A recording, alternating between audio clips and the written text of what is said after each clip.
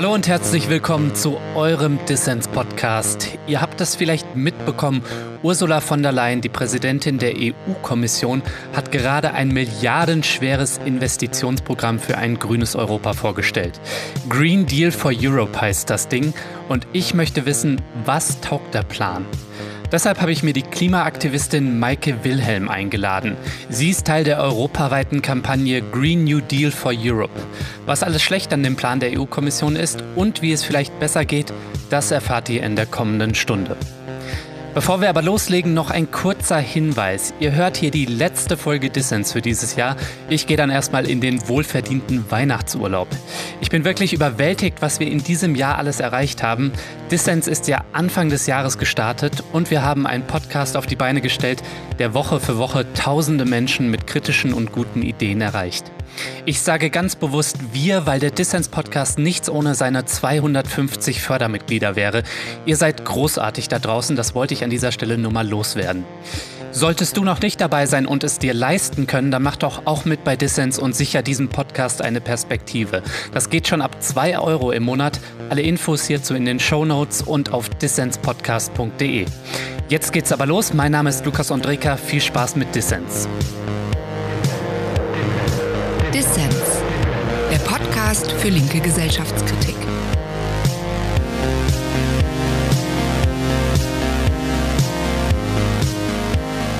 Maike, schön, dass du beim Dissens-Podcast dabei bist. Schön, dass ich hier sein darf. Du, Maike, Ursula von der Leyen, die amtierende EU-Kommissionspräsidentin, die hat gerade ihren Green Deal für Europa vorgelegt. Maike, hat die Ursula euch da die Show gestohlen? Es äh, wirkt natürlich so ein bisschen so, als ob sie sich äh, von unserem Green New Deal hat inspirieren lassen. Mhm. Das Problem ist allerdings ähm, die Zielsetzung, die bei ihr nicht stimmt. Also Klimaneutralität bis 2050, das ist einfach zu spät.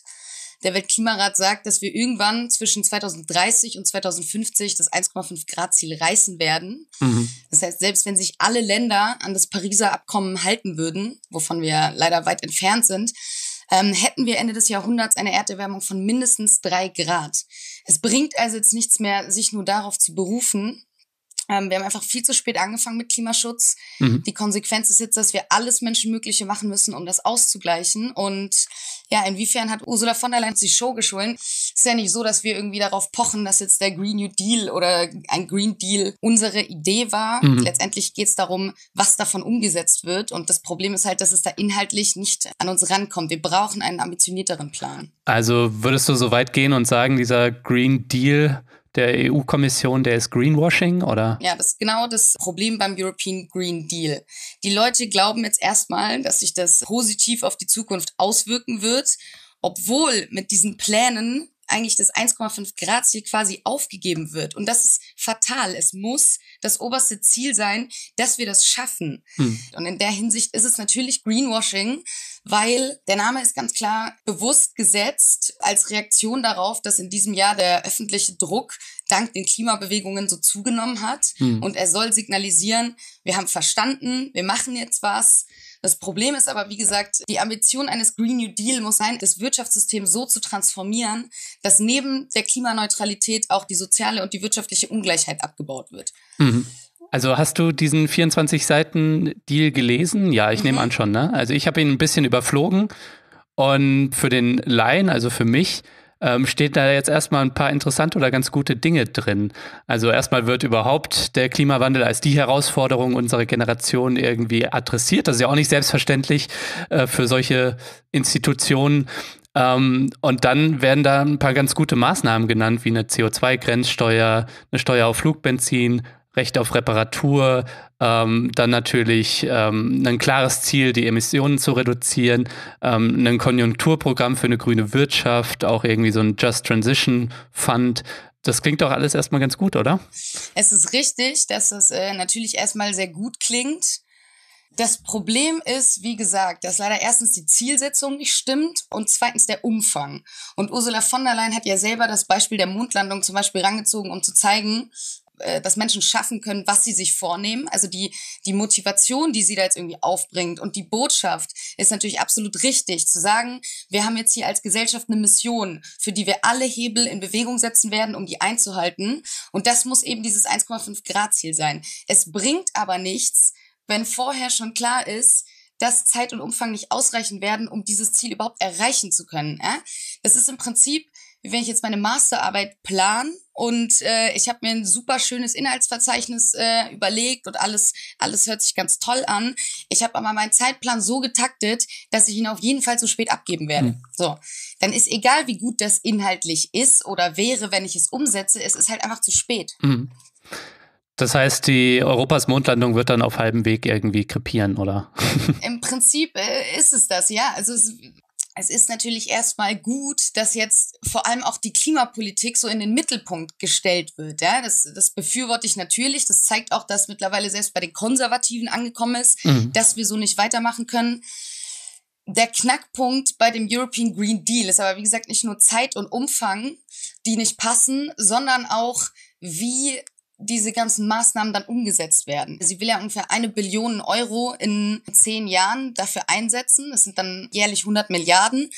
Von diesen 100 Milliarden Euro sollen aber wieder nur ein kleiner Teil, also beziehungsweise ein Teil, sie rechnet mit 38 Millionen, sollen öffentliche EU-Gelder sein. Der Rest soll von privaten Investoren übernommen werden, was dann wieder heißt, dass am Ende der Profit über alles steht. Ja? Ein privater Investor gibt sein Geld nur irgendwo rein, weil er in Rendite erwartet.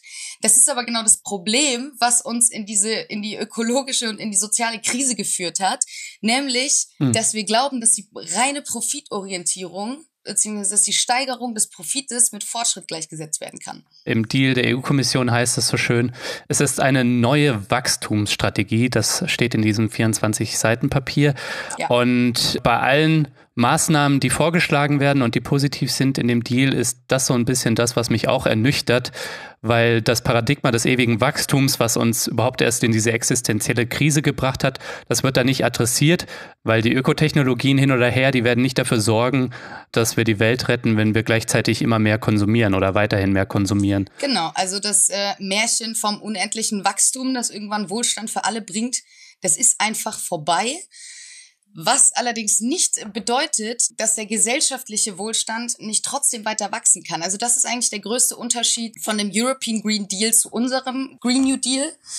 Wir entkoppeln im Prinzip gesellschaftlichen Wohlstand vom BIP. Mhm. Und in den letzten Jahrzehnten, Stichwort neoliberale Wirtschaftspolitik, hat dieses Wachstum eigentlich sowieso nur dazu geführt, dass wir eine private Vermögensanhäufung haben. Mhm. Es ist ja auch absurd, dass wir es als Verzicht empfinden, wenn wir nicht stetig weiter wachsen können.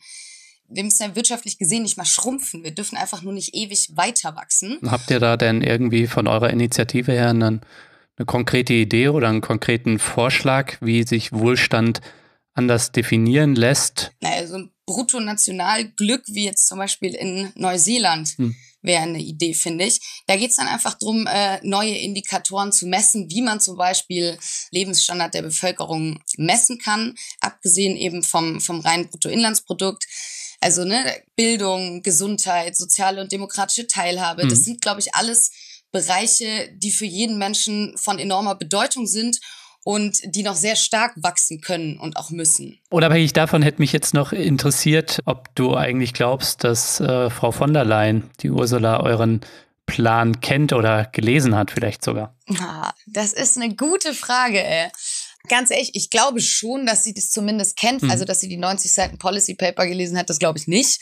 Das glaube glaub ich insgesamt nur relativ wenige gelesen, weil es so viel ist. Ich auch nicht. Aber sie hat natürlich auf jeden Fall davon mitbekommen. Klar, also spätestens, wenn man irgendwie sich in die Öffentlichkeit stellt und sagt, man will einen Green Deal, dann wird man bestimmt mitbekommen haben, dass es da schon erstens einen Vorschlag zu gibt. Und zweitens gab es auch schon Leute aus, die auch im Europaparlament mit Leuten gesprochen haben. Also auch in, in Brüssel Brüssel versuchen wir da quasi Lobbyarbeit zu machen mhm. für unser Konzept. Und wie gesagt, wir haben da keine Eigentumsrechte dran oder so. Wenn Ursula von der Leyen, das ist jetzt hier ein offizielles Angebot an die EU-Kommission, wenn Sie Interesse haben, Ihr Konzept noch weiter auszubauen, Sie dürfen gerne alles von uns übernehmen. Ja, mir ist lieber, dass Sie das ganze Konzept übernehmen, äh, statt nur den Namen. Das ist auf jeden Fall sympathisch, Open Access und kein Copyright auf dieses Konzept. Darf gerne. Ja, go for, go for it, Ursula. Nimm, nimm, was Sie, ich meine, wenn sie das wirklich ernst meinen würde, was sie, oder, oder wenn sie das wirklich ernst meinen, was sie da jetzt eigentlich angekündigt haben, dann ja, bietet sich das natürlich an, dass man vielleicht auch nicht alles selber erarbeiten muss. Die haben sich ja jetzt schon ein relativ krasses Zeitfenster auch gesetzt. Ja, ein Vorschlag meinerseits, vielleicht könnt ihr Ursula von der Leyen ja als Weihnachtsgeschenk einen Druck eures Papers schicken vom Green New Deal for Europe. Oh, das ist tatsächlich eine gute Idee. Das könnte man sich tatsächlich überlegen. Deswegen, genau, Angebot an die EU-Kommission steht. Wenn Sie unser Konzept haben möchten, gerne, gerne, it's for free.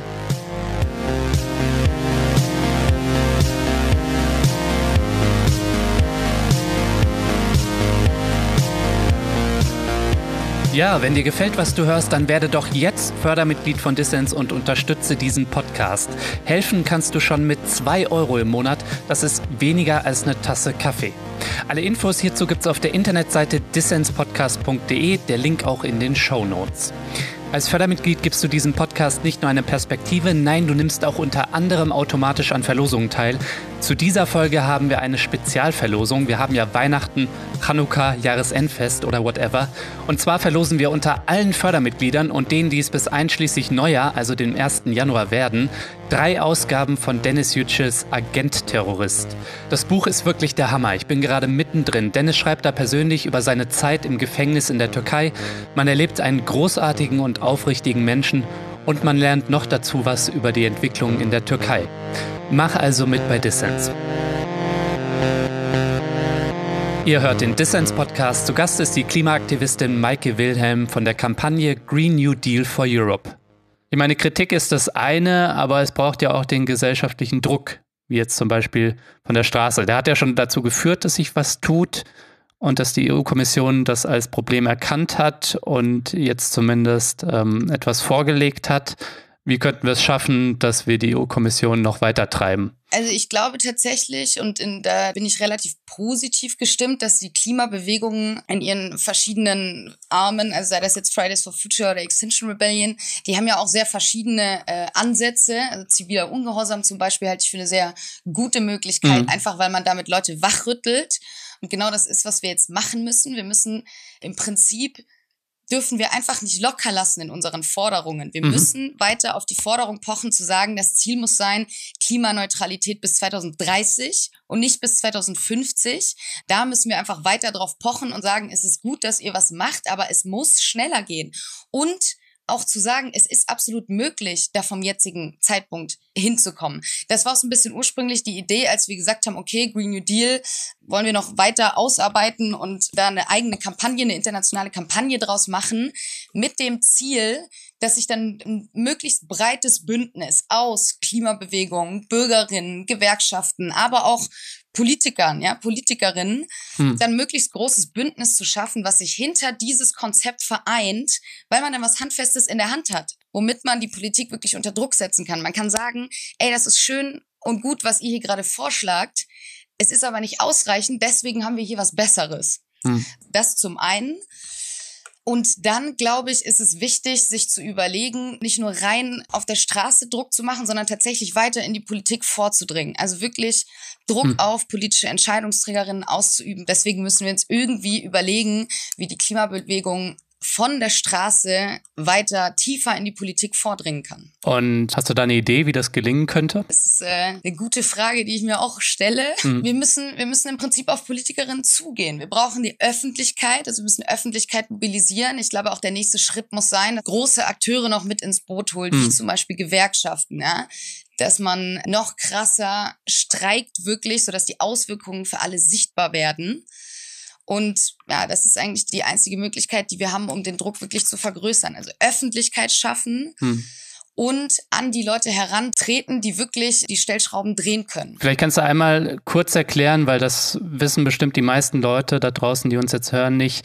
Wie ist eigentlich diese Green New Deal for Europe-Kampagne entstanden. Ja. Ähm, wer hat sie begründet und wer ist Teil dieser Koalition? Diem 25 hatte ja den Green New Deal schon bei der Europawahl als zentrales Wahlkampfthema. Und dann war das nach der Europawahl. Wir sind ja leider nicht ins äh, Parlament gekommen. Mhm. Das heißt, nach der Europawahl haben wir im Prinzip die Entscheidung getroffen, okay, wir entkoppeln das jetzt so ein bisschen von Diem oder öffnen das eigentlich für alle anderen die sich hinter mhm. eine Vision von Klimagerechtigkeit stellen wollen und dafür ein Konzept entwickeln wollen und machen daraus eine internationale Kampagne. So, das mhm. heißt jetzt inzwischen, wir sind ja erst im Mai gestartet, sind im Kampagnenteam Leute aus verschiedensten Organisationen, Wissenschaft, Gewerkschaften, aber auch zum Beispiel Leute von Fridays for Future, Extinction Rebellion, Scientists for hm. Future. Hm. Ja, ist auf jeden Fall aus meiner Sicht auch der richtige Weg, denn der politische Einfluss von Diem, der ist, äh, muss man leider sagen, marginal und das haben die letzten Europawahlen ja bewiesen. Der Einzug hat nicht geklappt ins Europaparlament. Was mich jetzt aber interessieren würde, ist, warum finden sich in eurer Koalition eigentlich nicht prominentere Partner? Also wenn man jetzt nach Deutschland schaut, dann würde man ja jetzt hoffen oder vielleicht erwarten, dass vielleicht die Grünen sich auch hinter dieses Konzept stellen oder Teil dieser Koalition sind. Vielleicht auch die Linke. Das sind auch zwei Parteien, in denen viel mit dem Buzzword, muss man es ja nennen, Green New Deal auch um sich geschmissen wird. Die Grünen haben das schon bei der Europawahl 2009 getan. Und in der Linken gibt es da auch Ideen dazu. Und wenn man sich jetzt zum Beispiel auch Fridays for Future anschaut oder Extinction Rebellion, also wenn ich da auf die Hauptkanäle schaue, so, dann finde ich da auch nichts von einem Green New Deal und das spielt auch in der öffentlichen Kommunikation weniger eine Rolle. Mhm. Also irgendwie klappt das ja nicht so richtig, dass die größeren Organisationen, wie jetzt vielleicht auch in Deutschland Gewerkschaften wie Verdi oder IG Metall, dass die sich hinter so ein Konzept stellen. Woran liegt das?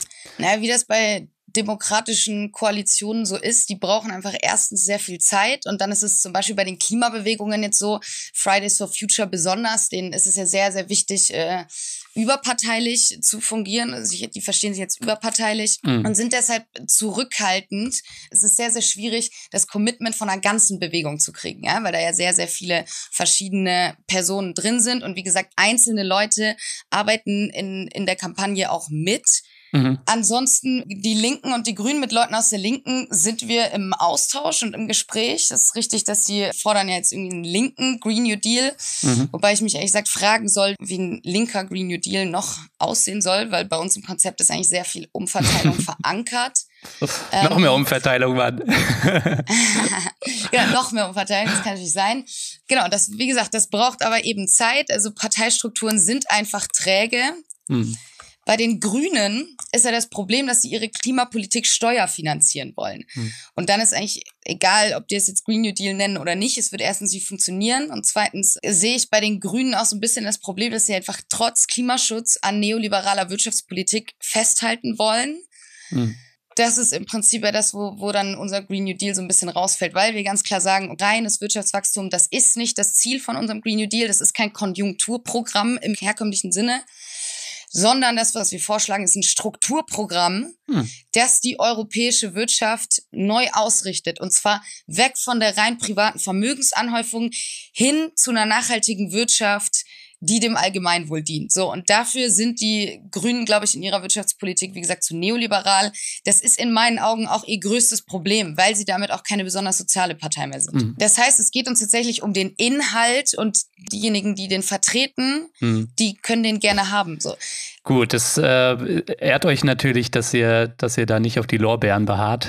Genau, dafür ist, wie gesagt, äh, der Einfluss von Diem einfach zu klein. Das haben wir nach der Europawahl eingesehen. Wir haben uns gesagt, okay, dann konzentrieren wir uns auf das, was wir gut können. Und das ist äh, Inhalt zu produzieren und Lösungsvorschläge zu machen und äh, uns dann Wege zu überlegen, wie die umgesetzt werden und wie die politisch Gehör finden. Hm. Ist das eigentlich was, was äh, ihr als eure Aufgabe in der arbeitsteiligen Klimabewegung seht? Also irgendwie konkrete Vorschläge zu machen, die mehr sind als eine Kritik des Ist-Zustands und irgendwie so allgemeine Forderungen, ja, wir müssen irgendwie hin zu Klimaneutralität. Oder ist das vielleicht sogar was, was du der Klimabewegung irgendwie als konstruktive Kritik oder zum Vorwurf machen würdest, dass es irgendwie zu vage bleibt. Also es ist nicht die Aufgabe von Fridays for Future, irgendwelche Inhalte zu präsentieren, mhm. sondern da geht es wirklich darum, Öffentlichkeit zu schaffen, Leute zu mobilisieren, auf das Thema aufmerksam zu machen. Und das ist ganz klar nicht deren Aufgabe. Also da glaube ich, ist es gut, dass die Klimabewegung ja sehr diverse Akteure hat. Mhm. Und wenn man jetzt zum Beispiel uns mit reinzählt als Green New Deal Kampagne, die sich vielleicht auf inhaltliche Sachen konzentrieren, und dann gibt's eben andere, wie zum Beispiel Fridays oder Extinction Rebellion, die mit zivilem Ungehorsam einfach massiv Aufmerksamkeit erregen. Und so ist das dann, glaube ich, eine ganz gute Arbeitsaufteilung vielleicht. Mhm. Noch besser wäre es halt, wenn man irgendwie sich trotzdem einheitlich hinter inhaltliche Forderungen stellen würde, wobei die zentrale Forderung von Fridays und von Extinction Rebellion ja ist Klimaneutralität bis 2030 Mhm. Wie die Politik das dann umsetzt, ist letztendlich die Aufgabe der Politik. Ja? Das ist nicht die Aufgabe der Klimabewegung. Aber wir vertrauen der Politik nicht, dass sie das hinkriegen. Deswegen haben wir das quasi mit der Green New Deal-Kampagne noch selber in die Hand genommen. Vielleicht kannst du einmal beschreiben, was so die wichtigsten Punkte sind mhm. eures Strukturprogrammes. Also, die wichtigsten Punkte von unserem Green New Deal sind die Einhaltung des 1,5 Grad Ziels ist das oberste Ziel und soll auf jeden Preis eingehalten werden. Und es darf nicht auf Kosten der Armen gehen. Hm. Also keine Steuerbelastung von Arbeitenden und Familien. Die müssen entlastet werden. Insgesamt müssen Bürgerinnen in die, in die grüne Transformation jetzt in Europa müssen mit einbezogen werden. Das heißt, wir brauchen mehr demokratische und auch wirtschaftliche Teilhabe. Wir wollen die Demokratie wieder stärken und auch die Kommunen. Also wir wollen, dass äh, Investitionsentscheidungen äh, von denjenigen getroffen werden, die es auch unmittelbar betrifft. Mhm. Unterstützt werden erstmal alle, die die sozialen und ökologischen Ziele Europas irgendwie voranbringen. Also das können Gewerkschaften sein, Genossenschaften sollen ganz stark gestärkt werden, aber auch private Unternehmen zum Beispiel, die sagen, ey, ich will auf Recycling umstellen, ich will irgendwie die Lebensdauer von meinen Produkten verändern oder die sagen, ich will die Arbeitsbedingungen von meinen Mitarbeitern verbessern und ich fange an, die irgendwie am Gewinn zu beteiligen über ein Dividendensystem. Also alles, was die ökologischen und sozialen Ziele voranbringt. Jeder Akteur kann prinzipiell gefördert werden. Mhm. Wir müssen weg vom Dogma des unendlichen Wachstums, äh, des endlosen Wachstums und dem BIP als Maß der Dinge. Gesellschaftlicher Wohlstand kann wachsen, ohne dass das BIP weiter wächst. Das ist unsere Hauptaussage. Und Europa muss sich dafür einsetzen, dass Klimaschutz in der ganzen Welt vorangebracht wird. Dafür müssen wir unsere Handelspolitik solidarisch ausrichten und wir müssen uns dafür einsetzen, dass internationale Solidarität das Ziel im 21. Jahrhundert ist. Wichtigster Punkt. Wir wollen, dass öffentliche Gelder auch dafür investiert werden, dass es am Ende mehr öffentlichen Besitz und mehr öffentliche Dienstleistungen gibt. Also, dass alle davon profitieren. Wie viel Geld wollt ihr eigentlich mobilisieren? Also der von der Leyen-Plan, der Green Deal für Europa, der sieht ja vor, über ein Jahrzehnt etwa eine Billion Euro für die Ökotransformation der Wirtschaft zu mobilisieren. Was sieht denn euer Plan vor? Ähm, genau, also wir schlagen vor, fünf Prozent des europäischen Bruttoinlandsprodukts zu nutzen. Das sind aktuell so ungefähr 800 Milliarden Euro jährlich, also das Achtfache von dem. Jährlich, ja. Jährlich, okay. also das Achtfache von dem, was äh, Ursula von der Leyen vorschlägt nur mal so, um eine Größenordnung zu geben, wie viel, wie viel Geld das ist, wie viel Geld diese, diese 100 Milliarden sind, die von der Leyen jährlich vorschlägt. Der Europäische Rechnungshof hat mal ausgerechnet, dass Europa alleine eine Billion Euro nur für die Energiewende bräuchte.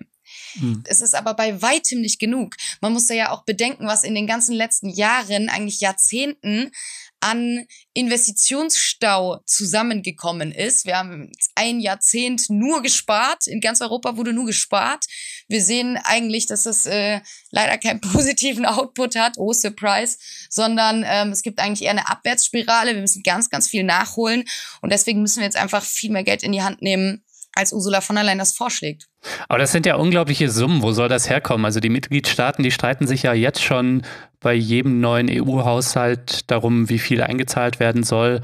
Ähm, also wo soll, wo soll so viel Asche herkommen? Das ja.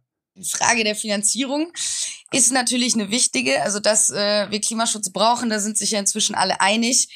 Niemand will aber dafür wirklich viel Geld in die Hand nehmen. Mhm. Unser Finanzierungskonzept sieht vor, dass die Europäische Investitionsbank, das ist eine öffentliche Förderbank, die also damit quasi uns allen gehört, durch den Verkauf von sogenannten Green Bonds immense Summen an Geld freisetzen kann, ohne dass dafür die EU-Steuervorschriften oder zum Beispiel die Schuldenbremse verletzt wird. Mhm. Ähm, ich habe ja schon mehrmals gesagt, dass es keine Lösung ist, Klimaschutz über Steuern zu finanzieren. Das Geld kann dafür jetzt nicht von den Bürgerinnen kommen, vor allem, weil wir so viel davon brauchen. Deswegen bleibt dann eigentlich nur noch die Möglichkeit, es über den Kapitalmarkt zu machen. Schauen wir uns da kurz an, wie da in Europa, äh, was da in Europa so die Situation ist. Die EZB pumpt, pumpt seit Jahren Geld ins System, um die Wirtschaft anzukurbeln. Das Problem ist aber, dass davon eigentlich unten, wo man es brauchen würde, nichts ankommt, sondern dass es zu immer mehr privater Vermögenskonzentration führt. Mhm. Investoren wissen schon gar nicht mehr, wohin mit ihrem Geld. Ja? Also Immobilien und auch der Aktienmarkt sind eigentlich total, sind schon total aufgebläht. Das ist übrigens auch der Grund, warum immer mehr Bereiche, auch gesellschaftliche Bereiche, privatisiert werden müssen. Mhm. So. Trotzdem gibt es aktuell in Europa zwei Billionen Euro, die einfach nur rumliegen und nirgends investiert werden. Mhm. Was will jetzt der Green New Deal? Der Green New Deal will genau diese ungenutzten Finanzmittel nutzen, indem die Europäische Investitionsbank sogenannte Green Bonds verkauft. Das sind also grüne Anleihen, mit einem nicht sehr hohen Zinssatz, aber es gibt äh, sowieso nirgends mehr einen hohen Zinssatz. Mhm. Das heißt, Banken würden sofort ihr Geld da rein investieren, aber auch zum Beispiel für Sparer oder Pensionsfonds ähm, wären Green Bonds eine gute Anlage, weil sie ohne Risiko sind. Mhm. Diese Green Bonds saugen also die ungenutzte Liquidität auf dem Kapitalmarkt wie so ein Schwamm auf und sorgen dafür, dass sie woanders investiert werden können. Wir verpacken im Prinzip also grüne und progressive Politik in einem marktwirtschaftlichen Rahmen. Das ist eigentlich genau das Gegenteil von dem, was äh, die EU-Kommission macht. Die verkaufen uns nämlich ein neoliberales Konjunkturprogramm als sozialökologischen Strukturwandel. Und dafür müssen auch nicht die Verträge, die europäischen, geändert werden. Also das ist was, was sich, ich sag mal, salopp gesagt, morgen umsetzen ließe, oder? Genau, dafür müssen keine Verträge geändert werden. Es umgeht die Schuldenbremse. Zum Beispiel, wenn man die Schuldenbremse jetzt wieder aufheben würde, dann müssten dafür Verträge geändert werden. Aber das Gute am Green New Deal ist, dass er radikal pragmatisch ist. Also er nutzt bestehende Strukturen und ist so konstruiert, dass man direkt morgen mit der Umsetzung beginnen könnte. Und jetzt die Finanzierung des Green New Deals über Geldpolitik ist das eine, aber seht ihr auch irgendwie, keine Ahnung, andere Sachen vor, wie, ich weiß nicht, dann doch vielleicht eine Finanztransaktionssteuer, die ihren Namen verdient oder ähnliches? Naja, also eine Finanztransaktionssteuer wäre natürlich in, enorm wichtig und gut. Das kann allerdings nur zusätzlich passieren. Also die erste Finanzierungsquelle für den Green New Deal ist unserer Meinung nach tatsächlich die Europäische Investitionsbank. Hm. Wir brauchen auch zum Beispiel eine europäische CO2-Steuer. Die muss dann aber wieder in, in, in Form von irgendeiner Dividende an die Bürger zurückgegeben werden, dass man eben da diesen sozialen Ausgleich schafft und es nicht nur die Einkommensschwachen trifft. Hm. Steuern zu erheben, um Klimaschutz zu finanzieren, funktioniert nur bedingt. Das kann nur, die CO2-Steuer soll eigentlich eingeführt werden oder soll den, soll den Emissionshandel ersetzen, weil der nicht funktioniert. Zur Finanzierung dient sie aber nicht wirklich, weil, wie gesagt, es trifft am Ende dann die Einkommensschwachen, die jetzt auch noch das bezahlen sollen, die grüne Wende in Europa. Hm. Aber wie sieht das denn konkret aus? Das habe ich jetzt immer noch nicht verstanden. Also wie sich jetzt euer Finanzierungskonzept vom Green Deal der Europäischen Kommission unterscheidet?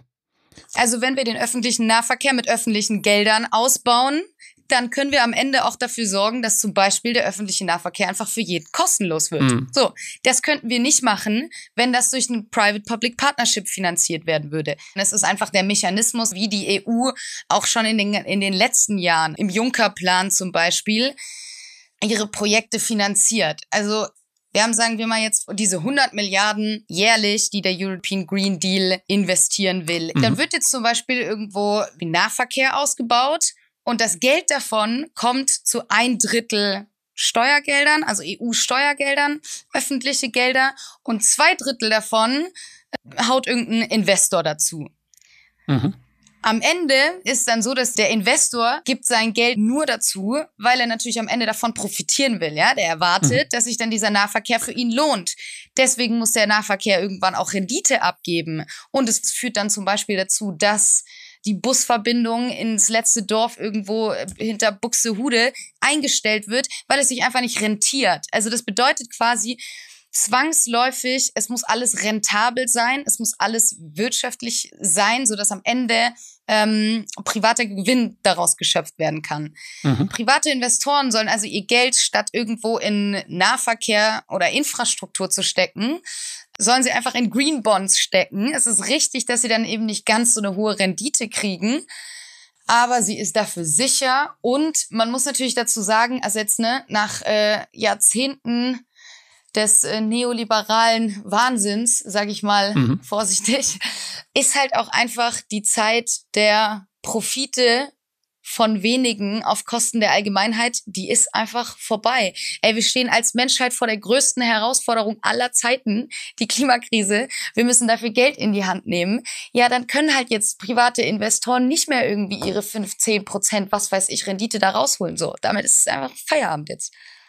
Und wie sieht's denn mit der Arbeit aus? Ich meine, zum Beispiel die Leute in der Lausitz irgendwie, die, das ist ja schön, wenn man denen erzählt irgendwie davon, äh, dass wir Kohle nicht mehr verfeuern dürfen, fossile ähm, Energieträger.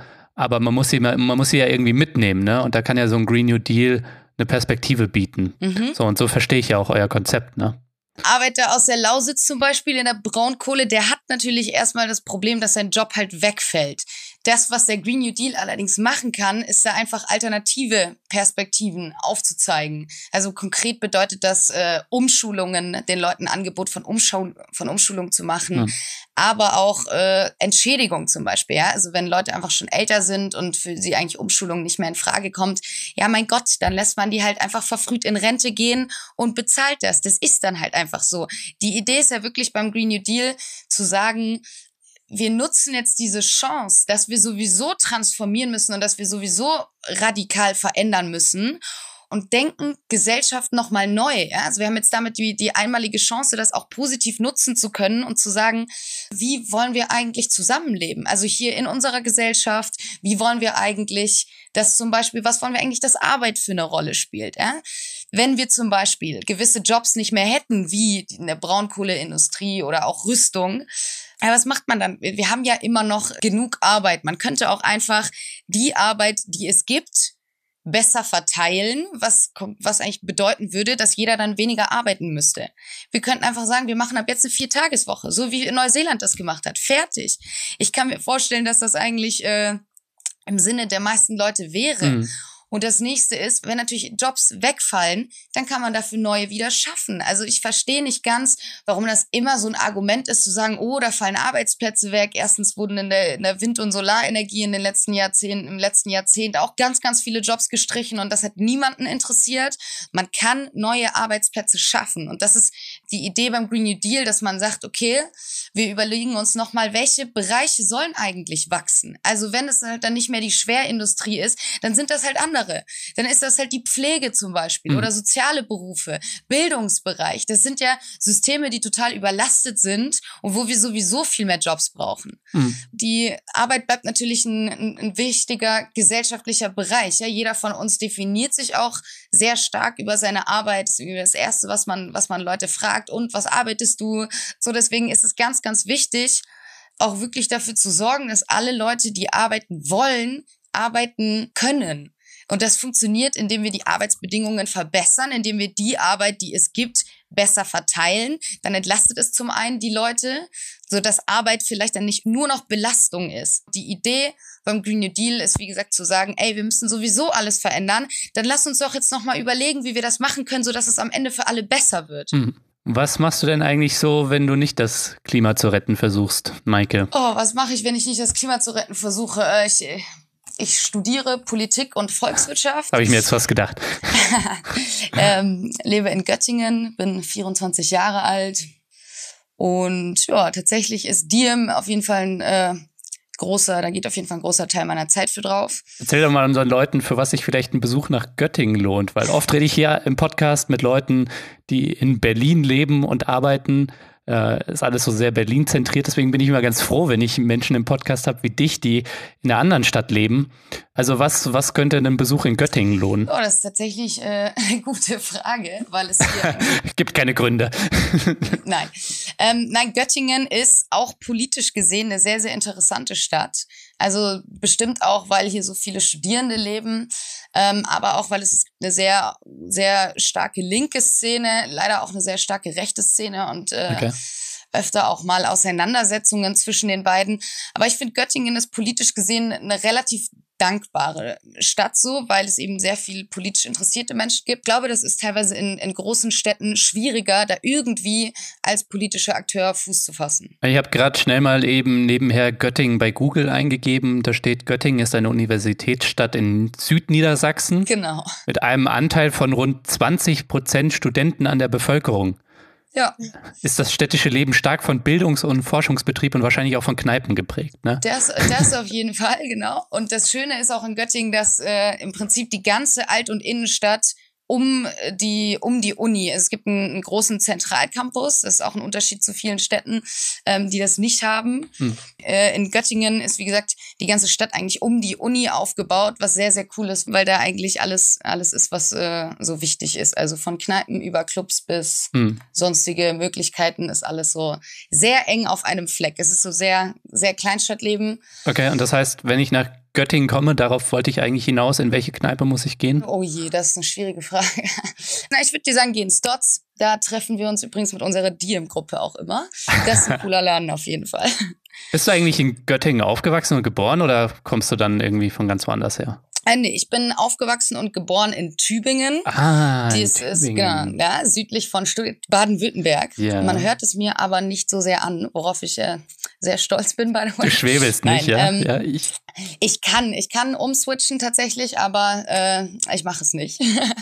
und Tübingen ist so vom, vom Flair auch relativ ähnlich. Ist auch eine Universitätsstadt und relativ ähnlich so wie Göttingen. Deswegen gefällt es mir hier vielleicht auch so gut. Ja. Ich habe aber auch vorher zum Beispiel in Hamburg gewohnt und war auch länger schon im Ausland und habe da in einer Großstadt gewohnt.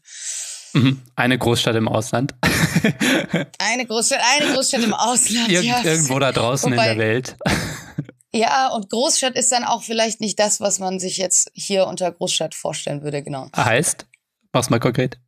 Heißt konkret ja, ich war nach dem Abi, bin ich für einen Freiwilligendienst mit Weltwärts nach Togo gegangen für ein Jahr und habe dann in der Zeit schon mit äh, verschiedenen Leuten aus Deutschland und aus Togo so eine Vereinskooperative aufgebaut. Wir setzen verschiedene Projekte im Bereich Bildung und nachhaltige Landwirtschaft um.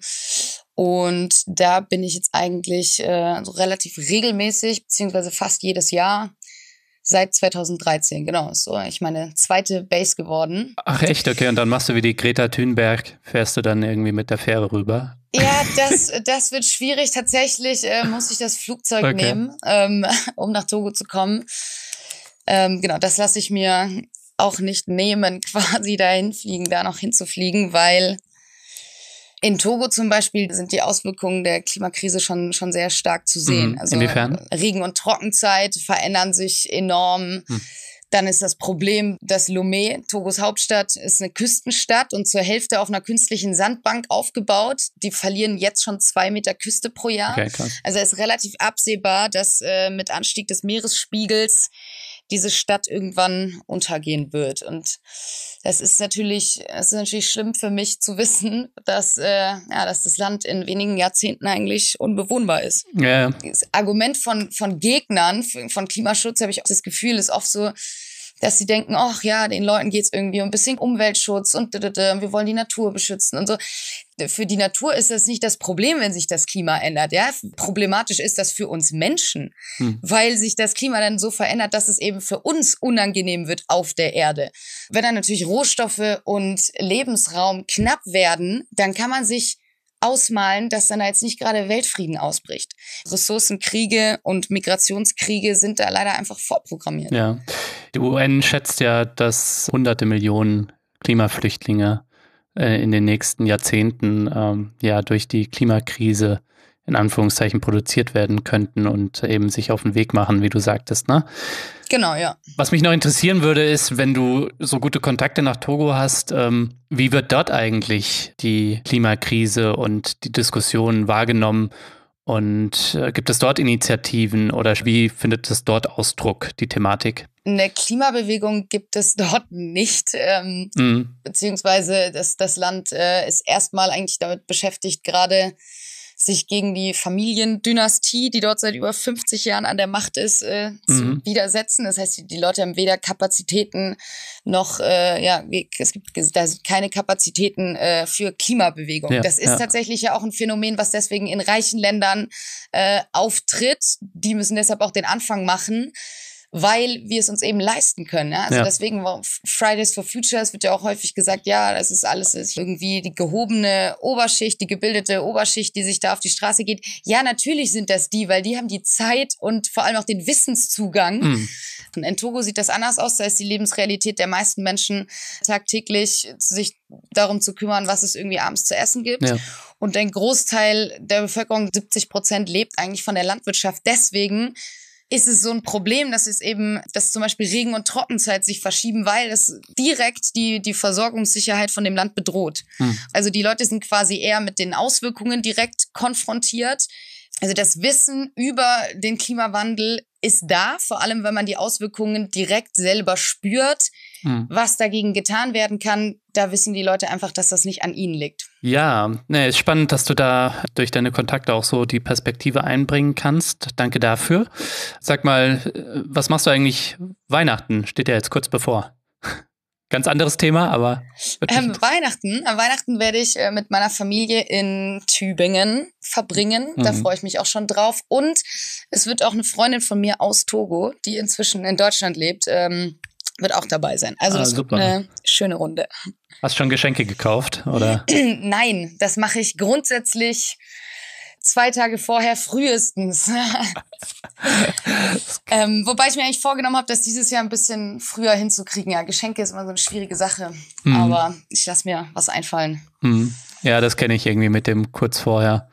Ich habe äh, ja, ich habe neulich hab ich in so einen Artikel gesehen, wo irgendwie Geschenkideen, um die Welt zu retten. Da war dann irgendwie so viel Bullshit drin, was man irgendwie alles verschenken könnte, was halt irgendwie angeblich Klima, ach egal, lasse, lassen wir für Nee, würde mich aber interessieren, ne? weil man äh, kommt ja nicht umhin um ein schlechtes Gewissen, ne? wenn man irgendwas, äh, irgendwas kauft und dann, äh, vielleicht hast du ja einen Tipp für mich. Was könnte man schenken, was besonders öko ist? Ja, pff, das ist eine gute Frage. Zeit, gemeinsame ähm, Zeit.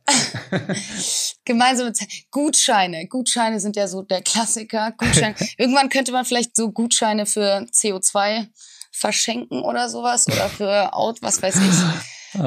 Das ist aber, das ist aber ein trauriges Geschenk. So, du kriegst, du kriegst hier einen Gutschein, um irgendwie CO2-Zertifikate zu kaufen. Genau, ich schenke dir meine Autofahrt, die ich noch zur Verfügung habe. Ja, das Problem ist, ja, wir lachen jetzt darüber, aber das Problem ist, wenn die Politik das nicht in die Hand nimmt, da jetzt irgendwas zu unternehmen, dann führt das dazu, dass die Leute das unter sich austragen, ja? Dann geht das irgendwann los mit, ey, der fährt noch SUV und der isst noch Fleisch und hm. die Leute merken, scheiße, die Politik macht überhaupt nichts dagegen und dann ist natürlich der Trugschluss, dass man irgendwie denkt, okay, da müssen wir es jetzt über individuelles Verhalten verbessern. Das ist natürlich auch wichtig. Es ist richtig, dass wir irgendwie alle selber unseren Alltag irgendwie ein bisschen besser gestalten müssen. Es wird aber nicht ausreichen. Also ich glaube, Leute können Vorbild sein im Privaten und mit ihren Konsumentscheidungen das auch gut. Zum Beispiel, wenn sie, keine Ahnung, mal einen Fahrradurlaub machen auf oder so Fall, in, in Deutschland Fall. oder in Nachbarländern und ihren Freundinnen und Freunden, Bekannten, Familie und so weiter beweisen, dass man dabei auch Spaß haben kann und dass man nicht unbedingt übers Wochenende nach Barcelona oder nach New York chatten muss. Aber äh, wie du schon sagtest, es braucht auch die politischen die großen strukturellen Weichenstellungen, den Umbau der Wirtschaft und unserer Lebensweise so, weil die einzelnen Menschen werden es nicht richten können. ja? ja? Wusstest du eigentlich, Dissens hat 250 Fördermitglieder, die diesem Podcast eine Perspektive geben. Aber wir brauchen auch deine Unterstützung, um weiterhin gute Ideen für alle senden zu können. Und damit ich nicht weiter für etwa 5 Euro die Stunde diesen Podcast mache, sondern vielleicht bald zum armutsfesten Mindestlohn. Nebenbei hast du auch die Chance, Dennis Yücels Buch Agent-Terrorist zu gewinnen. Zu unserer letzten Folge verlosen wir nämlich drei Ausgaben dieses großartigen Buches. Alle Infos hierzu natürlich in den Show Notes. Mach also mit bei Dissens, du kannst 30 Tage kostenlos reinschnuppern.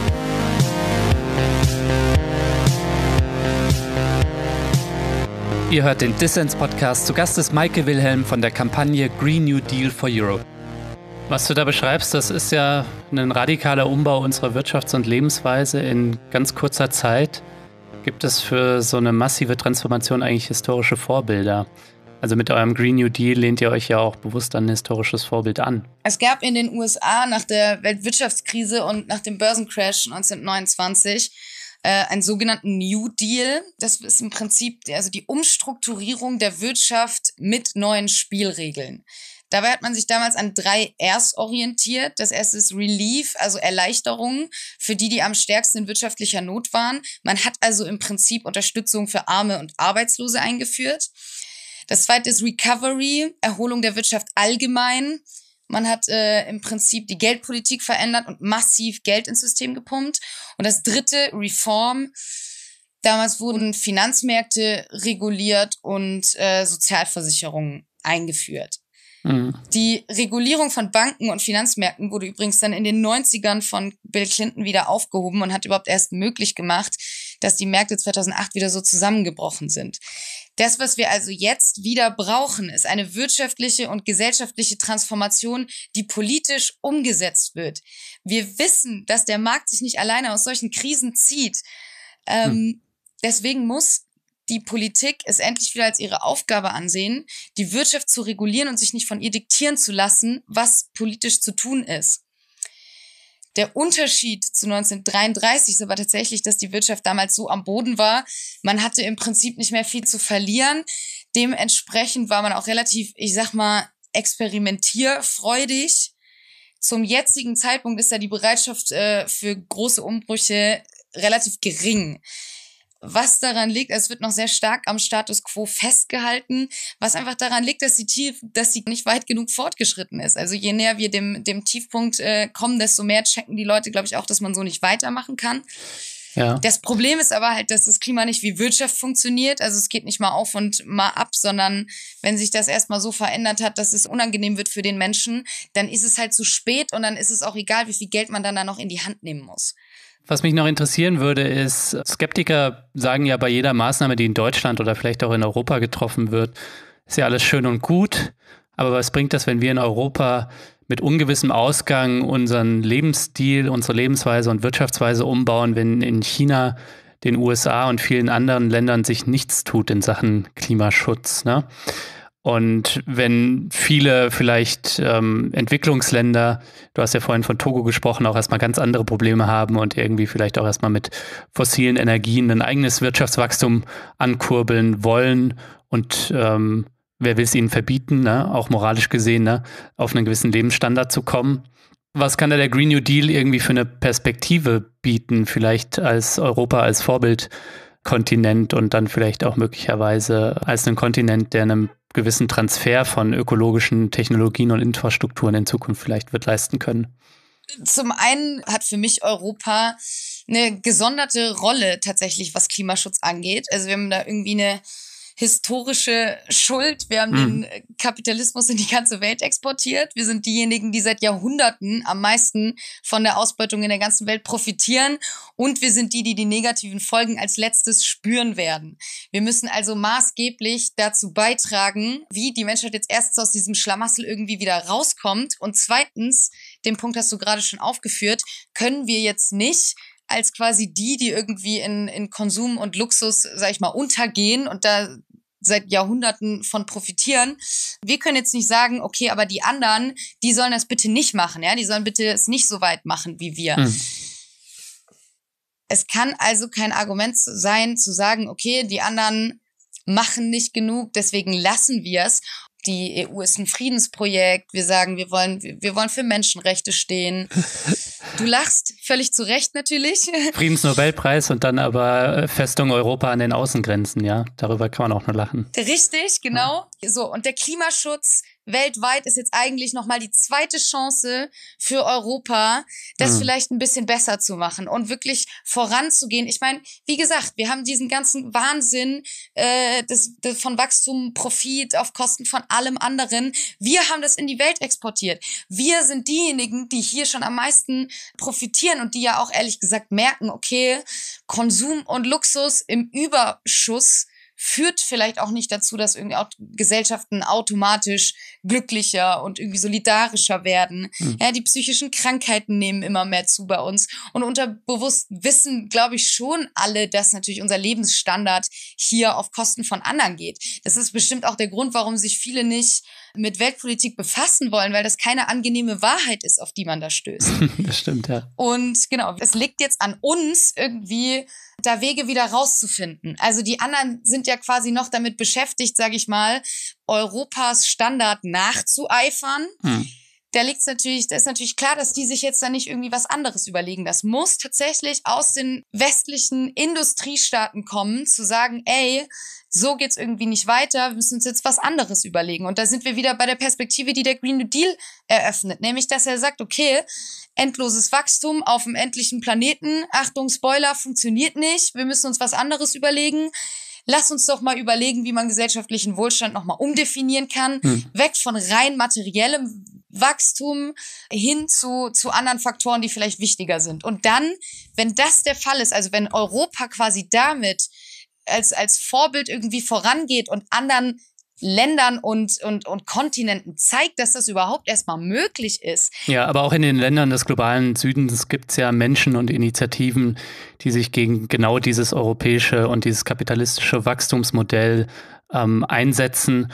Und mhm. denen wäre natürlich auch geholfen, wenn in Europa sich was tun würde und eine Transformation stattfinden würde hin zu einer, wie du es beschrieben hast, einer nachhaltigen Postwachstumsökonomie, denen wäre dort natürlich auch geholfen, weil sie dann zeigen könnten, hey, die schaffen gerade einen Übergang und wir müssen vielleicht nicht die dummen Fehler wiederholen, die die idiotischen Europäer gemacht haben.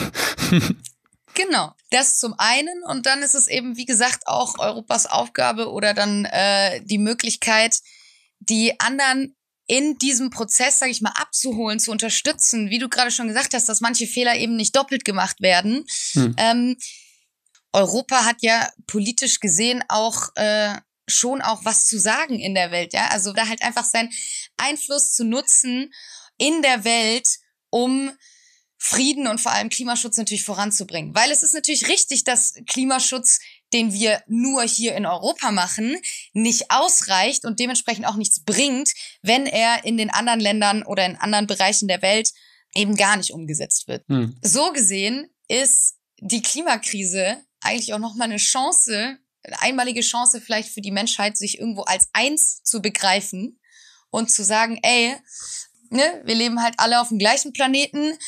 Da müssen wir uns jetzt übrigens drum kümmern, dass der auch bewohnbar bleibt.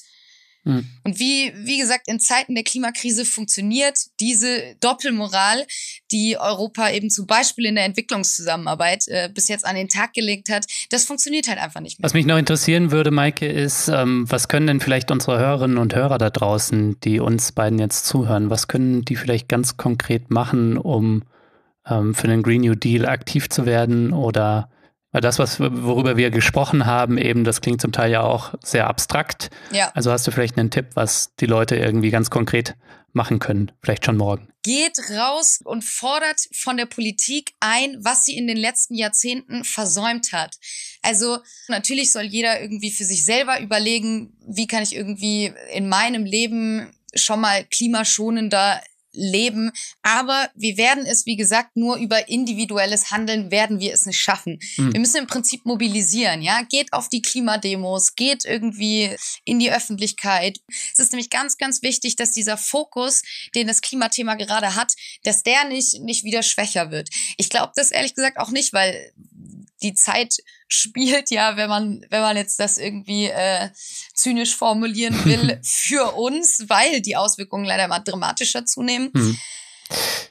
Ja, aus der privaten Blase raus, Arsch hoch und auf die Straße oder sich in Initiativen engagieren? Die Challenge ist ganz klar, dass wir uns irgendwie überlegen müssen, wie schaffen wir es, noch mehr Leute zu erreichen mit diesem Green New Deal Konzept und sie davon zu überzeugen, dass sie am Ende des Tages profitieren.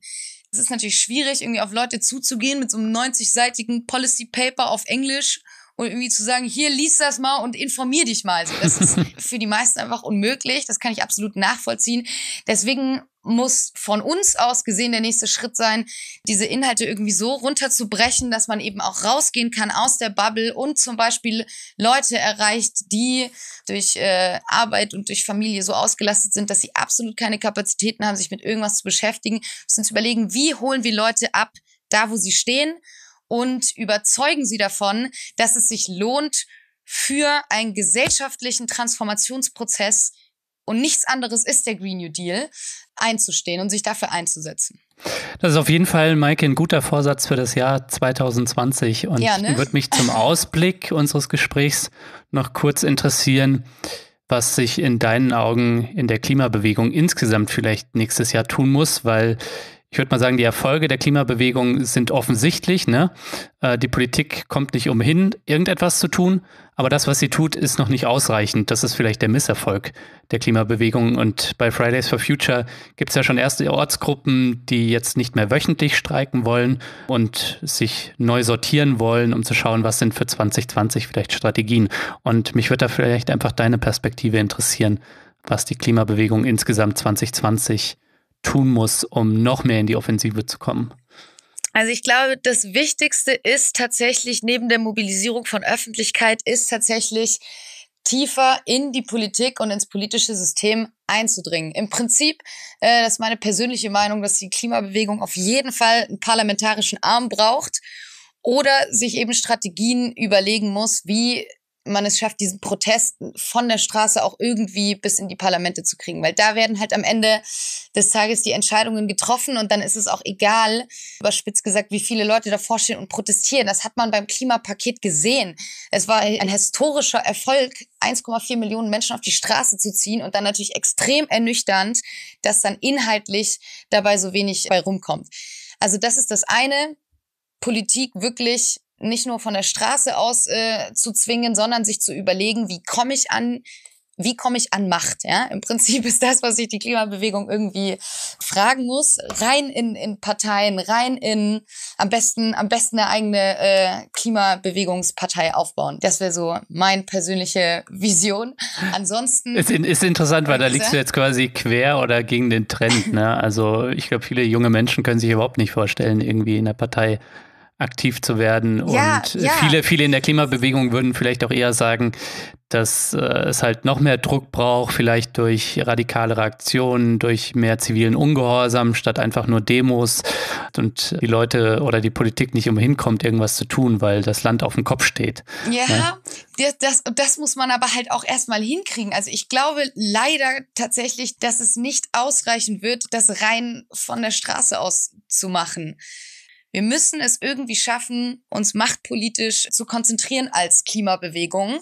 Ich persönlich habe jetzt auch nicht wirklich Bock, irgendwie äh, mich parteipolitisch zu engagieren. Ich würde auch lieber irgendwie auf der Straße bleiben. Aber ich, wie gesagt, ich glaube halt, dass äh, sowohl zivilem Ungehorsam als auch Demonstrationen, dass da einfach eine gewisse Grenze irgendwann gesetzt. Man hat das ja jetzt auch gesehen beim zweiten Weltklimastreik waren längst nicht mehr so viele Menschen auf der Straße wie beim ersten Weltklimastreik.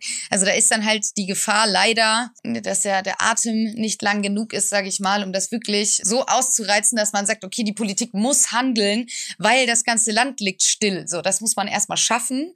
Und da, glaube ich, ist es fast einfacher, sich zu überlegen, oder nicht, nicht einfacher, aber man muss man muss sowieso alle Wege probieren mhm. und man muss auch sich überlegen als Klimabewegung, wie komme ich eigentlich an politische Macht? Jetzt mal ganz salopp gesagt. Man muss alle Wege ausprobieren, das denke ich auch. Ich möchte auch kurz äh, eine Lanze brechen für all die Parteisoldaten an den Empfängern, Fall, die ey. sich irgendwie in ihren etablierten Parteien äh, an der Basis dafür engagieren. Genau.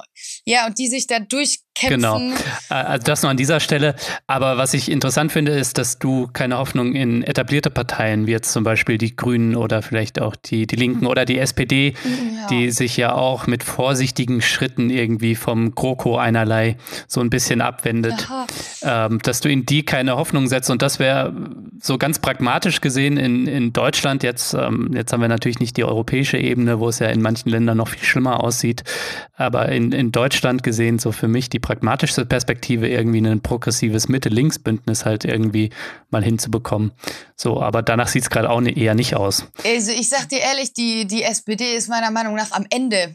Das Problem, was ich bei den Grünen sehe, ist, wie gesagt, die sind die sind in der Mitte der Gesellschaft angekommen, was ja auch gut ist. Also ich sag nicht, dass das irgendwie schlecht ist, dass die Grünen zum Beispiel viele Konservative erreichen, sondern für Klimaschutz muss ja in allen gesellschaftlichen Bereichen mobilisiert werden. Und in Deutschland, Deutschland ist nun mal eine sehr konservative Gesellschaft. Mhm. Deswegen sehe ich das eigentlich als positiv, dass die Grünen sich da irgendwie so hochgearbeitet haben, dass sie jetzt irgendwie auch zum Beispiel für viele Besserverdiener und so eine, eine, eine Alternative sind die ganzen Leute, die aber jetzt zum Beispiel auf der Straße stehen und wirklich System Change wollen, also die sagen, ich will radikale Veränderungen, Kapitalismus weg und so weiter und so fort, die werden halt von den Grünen nicht mehr wirklich abgefangen. Und da fehlt im Moment in Deutschland so ein bisschen die klimapolitische Alternative, hm. die man vielleicht als Klimabewegung auch, wie gesagt, aufbauen muss. Und dann wirklich einfach mal rein ins Parlament und mal Tacheles reden und den Protest einfach wirklich dahin bringen, wo dann am Ende des Tages die Entscheidungen getroffen werden. Hm. Ich bin skeptisch, aber gute Idee. Die Frage ist, was einfacher ist. Ne? Also wenn man jetzt zum Beispiel sagt, die SPD hat jetzt so lange probiert, sich irgendwie zu erneuern und das ist halt gar nicht so einfach. Parteistrukturen, die sich über Jahrzehnte aufgebaut haben, bei der SPD noch viel länger, die kriegst du nicht mal eben einfach so verändert. Also auch bei den Linken zum Beispiel ist es so, dass dann, wenn es irgendwie darum geht, wirklich, wirklich Jugendquoten in Vorstände einzusetzen oder durchzusetzen, da stehen die alten Leute auf und ich sag dir, die wehren sich dagegen. Das ist ein Problem. Deswegen ist Partei für junge Menschen und die Klimabewegung wird ja von vielen jungen Menschen eigentlich dominiert, ist Partei halt auch so unattraktiv. Du hast als junger Mensch nichts zu sagen. Du musst dich erstmal irgendwie 30 Jahre in deinem Landkreis irgendwie hocharbeiten, von Ortsvorstand zu, zu Plakate kleben, was weiß ich, bis du irgendwann überhaupt mal in die Position kommst, vielleicht was mitentscheiden oder was machen zu dürfen. Das ist halt einfach nicht mehr zeitgemäß. Und hm. ich glaube aber daran, wie gesagt, wir dürfen das Konstrukt einer Partei nicht einfach so aufgeben. Wir können nicht sagen, ja, Parteien sind jetzt uncool, wir sind jetzt nur noch Bewegung. Klar ist es irgendwie einfacher, Bewegung zu sein. Wie gesagt, am Ende des Tages sind aber Parteien diejenigen, die in die Parlamente kommen, die die politischen Entscheidungen treffen und die wirklich äh, politischen Handlungsspielraum haben, wenn es dann um die hm. reale Umsetzung geht. Und da ist vielleicht dann die, die, die Challenge der, der Klimabewegung zu sagen, okay, 21. Jahrhundert, die Spielregeln haben sich ja auch irgendwie geändert. Wir müssen uns zwar an gewisse Rahmenbedingungen durch Parteiengesetz und so weiter halten, hm. aber vielleicht kriegt man da irgendwie einen Weg und überlegt sich was, was weiß ich, Plattformpartei, wo verschiedene Akteure irgendwie zusammenkommen und sich quasi einfach nur organisieren. Ja, also die Idee ist ja nicht, eine neue Parteistruktur aufzubauen. Das will sowieso keiner haben, sondern sich irgendwie parteipolitisch, sage ich mal, zu organisieren. Das ist, glaube ich, was, was die Klimabewegung auf jeden Fall machen muss. Zusätzlich zu dem Druck von der Straße, der aber, glaube ich, wie gesagt, für die totale Klimarevolution nicht ausreichen wird. Ja, ich bin ähm, auch nicht skeptisch dahingehend, äh, dass ich eine neue Parteigründung für unmöglich halte. Also ich meine, die AfD ist ein schlechtes Beispiel und aber sie beweist, dass, dass, ja, dass das sie geht. beweist, dass es möglich ist. Und En Marche in, in, in Frankreich von Emmanuel Macron, der ist ja auch in gewisser Weise eine Art Bewegungspartei ist, äh, hat das auch bewiesen. Ich sehe es gerade gegenwärtig nicht in der Klimabewegung, den Drive irgendwie jetzt eine Plattformpartei, wie du es beschrieben hast, zu gründen. Wir haben ja auch noch nicht 2020, äh, vielleicht ergibt sich das ja. mal abwarten. Maike, vielen Dank fürs Gespräch. Ja, danke dir. Hat mich sehr gefreut.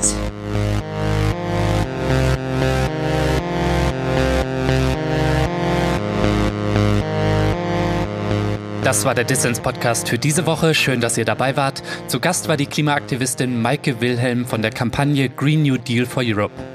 Damit noch mehr Leute da draußen kluge Menschen wie Maike zu hören bekommen, werde doch Fördermitglied und unterstütze Dissens. Du kannst schon ab 2 Euro im Monat dabei sein und natürlich gibt es als Fördermitglied auch schöne Gewinne. Alle Infos hierzu in den Show Notes. Ihr wollt mehr von Dissens, dann abonniert diesen Podcast auf iTunes, Spotify oder der Podcast-App eurer Wahl.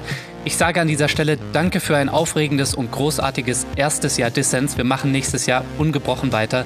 Danke an alle Hörerinnen da draußen. Einen riesigen Dank an alle Fördermitglieder von Dissens und danke an Freunde und Familie an dieser Stelle, die mich unterstützt haben in diesem Vorhaben. Ja, bleibt nur noch zu sagen, dass ich euch eine schöne Zeit zwischen den Jahren wünsche und einen guten Rutsch. Wir sehen uns in aller Frische im neuen Jahr.